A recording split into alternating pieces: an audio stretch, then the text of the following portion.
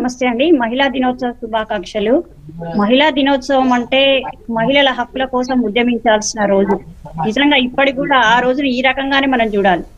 ఒక అమ్మాయి సమాజాన్ని ట్రీట్మెంట్ చేయాల్సిన అమ్మాయి ఆ సమాజంలోని విష పురుగుల వల్ల ఏ విధంగా చనిపోయిందో అమ్మాయి యొక్క డెత్ మిస్టరీ కూడా ఛేదించలేని పరిస్థితులలో ఇప్పటికీ గవర్నమెంట్ ఉందంటే అంటే దీన్ని పొలిటికలైజ్ చేయడం ఎవరి ఉద్దేశం కాదు. కానీ ప్రభుత్వంలో ఉన్న పార్టీల బాధ్యత ప్రభుత్వంలో ఉన్న పెద్దల బాధ్యత.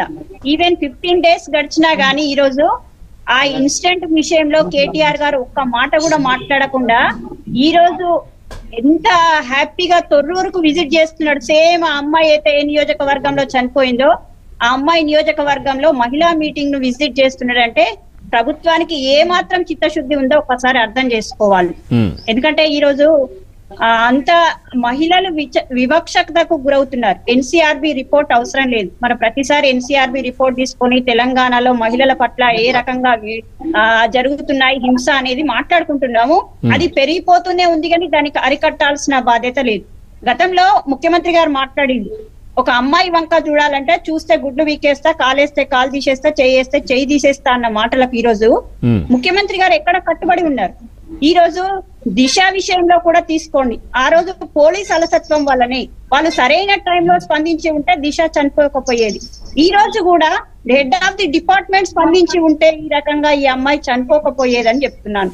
ఎంతమంది ఇప్పుడు వరల్డ్ వైడ్గా తీసుకుంటే ఐదు వందల పన్నెండు మెడికల్ కాలేజీలలో ఐదు సంవత్సరాల నుండి నూట పంతొమ్మిది మంది మెడికల్ సూసైడ్ చేసుకున్నారు. ఎంబీబీఎస్లో డ్రాప్ ఎంబీబీఎస్ పిల్లలు అరవై నాలుగు అయితే పీజీ స్టూడెంట్స్ యాభై ఐదు మంది.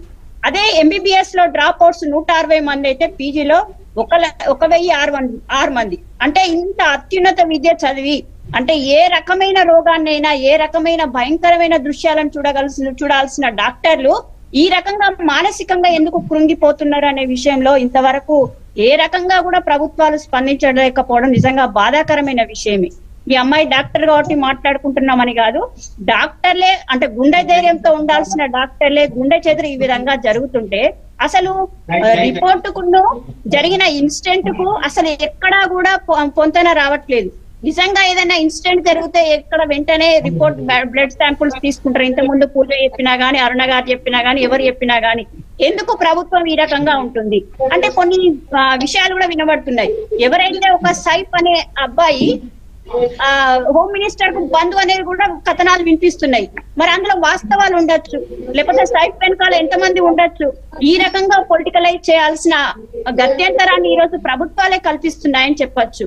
ఒక తల్లిగా వాళ్ళొక ట్రైబల్ నుండి ఎదిగి ఆ అమ్మాయి చదువుకొని పట్టుదలగా మా అమ్మాయి డాక్టర్ కావాలని చెప్తున్న తల్లిదండ్రుల బాధ ఎంత వర్ణనాతీతంగా ఉంటది ఈ రోజు మా వరంగల్ సిపి రంగనాథ్ గారు చాలా గొప్ప ఆఫీసర్ అంటారు.